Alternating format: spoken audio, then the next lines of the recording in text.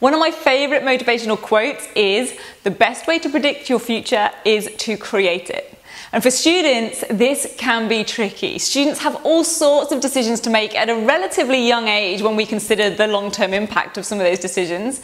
Purely academically and formally, they have to make subject choices in and around year 9 onwards. They have to choose in around year 11 what they're going to be doing after year 12. They have to choose whether they're going to go out and get work, go to TAFE, do further training, vocational, apprenticeship style paths, or of course go on in, into uni and take the academic route? Well, of course, then, you've then got to also choose, well, which uni, which subject, which course am I going to follow? And for some students, these choices are extremely exciting. They love having the freedom to choose and enjoy the process of considering all of their options. For others, it can feel pretty overwhelming and daunting. And it's also the same for parents who enroll their teen in the 10 week grade transformation program. Some are super excited to have that opportunity. They know it's just what their teen needs and they grab it with both hands. Others take their time. They wonder if it's the right option for their child. They discuss it through with others, including me. And the truth is, any choice in life takes a certain amount of courage.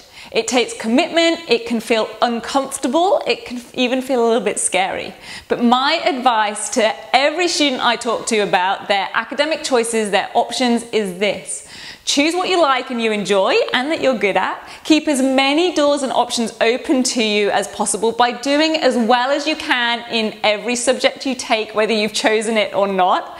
Because whatever you end up doing, it'll always feel a lot better to be able to get there quicker, easier, faster when you have the grades to get into that course or training that you eventually choose. And as one parent wrote in one of my webinar surveys, it's all about them having the maximum choices and opportunities open to them.